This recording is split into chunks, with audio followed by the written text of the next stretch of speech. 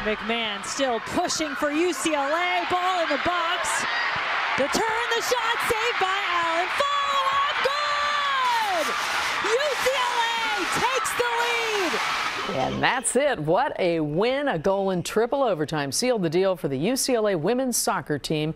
They took home the NCAA championship with a 3 2 victory over the University of North Carolina. The team flew back to LA today to a champions welcome in Westwood. Photojournalist Mark Mehlinger was at the Pauley Pavilion Tunnel for their grand return.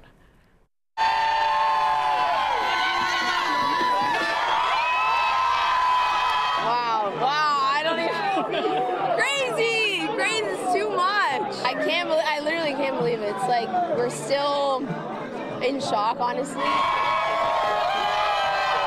I feel amazing. A little tired, I will say, but this was just an incredible experience. The game itself was so um, full of highs and lows, but to end in that way, to accomplish what we've done this season is just simply incredible.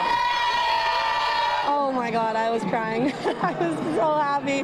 I lost my, my voice is gone right now because of, of all the screaming, but it's just such a special moment. Yeah, we deserve this. I think we're all still in shock, but we're able to bring it home. Let's go.